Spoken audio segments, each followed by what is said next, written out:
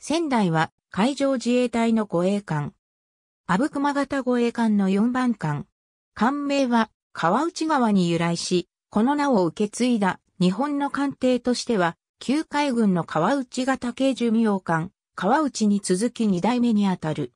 仙台は中期防衛力整備計画に基づく昭和62年度計画1900トン型オツ型、護衛艦1232号艦として住友重機械工業浦賀工場で1989年4月14日に寄港され、1990年1月26日に浸水。同年10月16日に海上港を司会し、1991年3月15日に収益し、佐世保地方隊第21護衛隊に編入された。1991年6月20日、佐世保地方隊霊下に第39護衛隊が新編され、お、およどと共に編入された。1997年3月24日、隊番号の改正により、第39護衛隊が第26護衛隊に改称。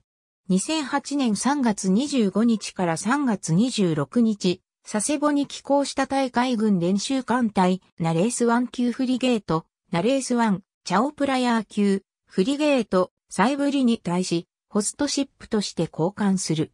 同年3月26日、自衛艦隊の大改編により、第26護衛隊が第16護衛隊に改称され、護衛艦隊霊下に編成がへ。2011年3月16日付、第16護衛隊が廃止となり、第12護衛隊に編入。低傾向が佐世保から呉に転籍。2015年12月、呉から舞鶴基地に開港。2016年3月18日付、第14護衛隊に編入、低傾向が呉から舞鶴に転籍。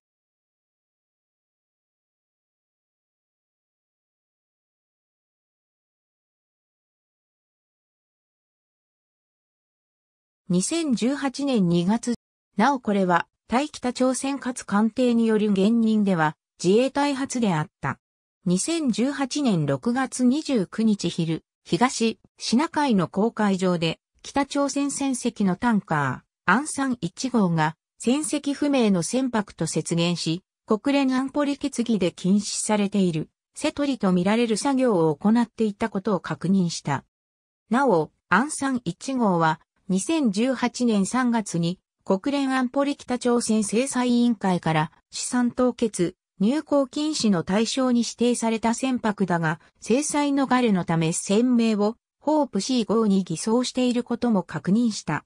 2019年8月23日から8月27日、親善のため舞鶴に寄港したカナダ海軍、ハリファックス級フリゲート、オタワに対し、ホストシップとして交換する。